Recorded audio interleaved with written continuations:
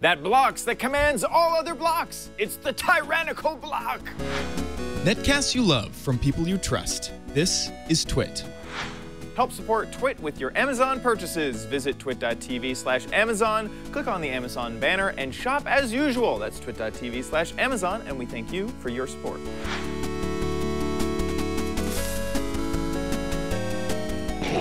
Hello and welcome to OMG Craft. I'm your host, OMG Chad. This is a show that'll teach you how to become a Minecraft expert in no time. Today we're answering an email. This email comes from Jaren Durkee.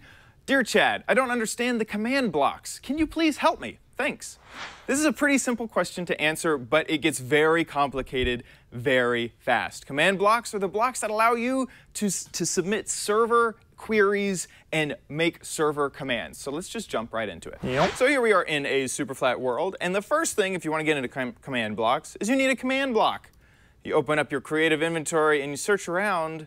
Where the heck is it? You can look through all the blocks, and there is not a command block. If you look for command block, this doesn't exist. The only way that you can get to a command block is to use a server command. So you just do slash give, and then the player, so this would be OMG Chad in my case. And then you can type out either uh, the code, which is 137, or you can do Minecraft colon command uh, underscore block. I'm just tabbing through to get to command block. And then you will be given one. If you want to have more for some reason, you can do that same command and then add a number at the end so that you'll uh, get more in your inventory. So I just got 25 more, so now I have a total of 26. When you place it in the world, it just looks like this. You've probably seen these before. And in order to get at the contents of a command block, you just right-click it. And then you can see a few things. It does give you some nice hints, which we're going to cover here, what some basic commands are. And this will send commands to the server console. That's what a command block does. So just to do something very simple, we'll do slash say, which allows the server to say something to the world. And we're just going to say hello world, just like that.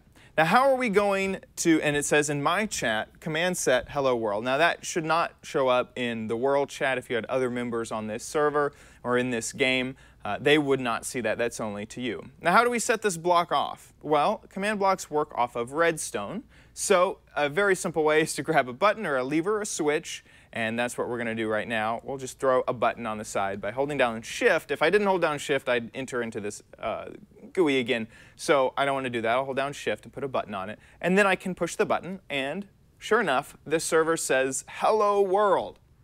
Now there's lots of things. You can basically use all the commands that are available to you uh, through your normal commands. And there's a great, there's so many commands that you can use. There's a great Wikipedia article at uh, the wiki slash commands. But let me just show off a few other arguments that you can add to these blocks. And they're right here uh, for kind of a cheat sheet of what you want. Uh, you can use at p for all uh, for the nearest player. So let's say I want to give uh, the nearest player, which would be me in, the, in, this, um, in this case. And let's give myself uh, something pretty simple, the record 13. So this is Minecraft colon record 13. And I'll give myself, how about four of those? Or the nearest player, it's not just myself. So when I push the button, it gives me four records that are 14. And, it, and I'm an op on this server, so it tells me what just happened. Uh, the only way that you can access these command blocks is if you are an op on the server, an op level of at least two or more. The default is four. Now, these are impossible to access if you are in survival mode. So if I switch my game mode to, let's say, zero, now I'm in normal survival mode, I can't. I'm right-clicking right now, and it is not allowing me to enter into this command block. I need to be in a higher uh, game mode, like game mode 1, for me to enter into this. Another nice feature of the command block is it does show you the previous output that it just uh, did. I can clear that if I wanted. Um, and so that is the previous output. This also really helps if you're in here editing multiple things, trying to fix bugs to find out why did one command block do something else. Uh, that's what this previous output will do. The other options uh, for the at symbol, which we were showing off, is at R for a random player, any random player that's logged onto the server, at A for all players, And then at E, and those are entities, and you can determine which entities uh, you want uh, with other uh, sort of arguments after that string. Yep. Now, in order to use command blocks, you must, of course, have command blocks set to true on your server properties. Otherwise, these bad boys won't work. Some other things that you can do with command blocks are teleport players from one place to another, give players items, which I showed off. You can also set the weather, which is kind of a really nice way. Just put a button on a command block that changes the weather back to clear hit it whenever it starts to rain. That's kind of nice. Uh, and of course, speak. And you can also set spawn points of players as well. And also, of course, scoreboards. Command blocks are perfect for scoreboards. And the new snapshots that are coming out, there's a lot more features like editing the NBT tags of blocks. So if you want, you can store data within blocks. There's lots and lots once you start getting into command blocks. So if you want to learn more, I would suggest checking out the commands. We did a whole episode on a lot of the commands that you can do in Minecraft that uh, we published a few months back. And then of course, check out the wiki because there's so many we can't even cover it here. But I hope that gets you started using command blocks.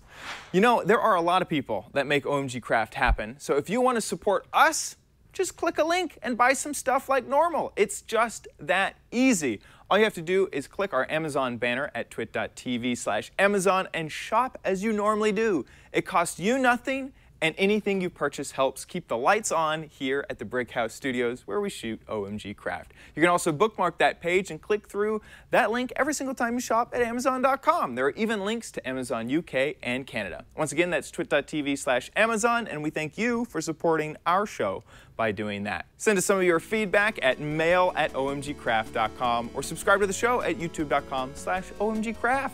Thanks so much for watching. See you next time. Bye.